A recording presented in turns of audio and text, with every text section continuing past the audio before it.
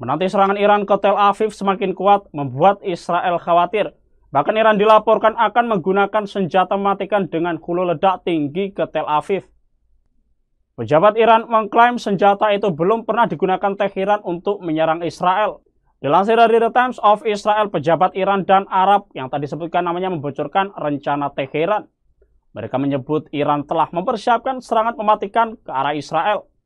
Terlebih Iran dendam dan murka saat empat tentara dan warga sipil tewas dalam serangan Zionis. Sehingga pejabat Iran itu menyebut respon serta balas dendam diperlukan. Ia mengatakan serangan Iran akan menargetkan lokasi militer jauh lebih agresif daripada sebelumnya. Pihaknya juga membocorkan kemungkinan Iran menggunakan wilayah Irak untuk meluncurkan proyektil. Hal senada disampaikan seorang pejabat dari Mesir.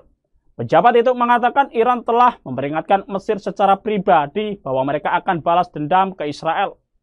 Di sisi lain Amerika Serikat telah mengerahkan pesawat pengebom B-52 ke Timur Tengah pada Jumat 1 November.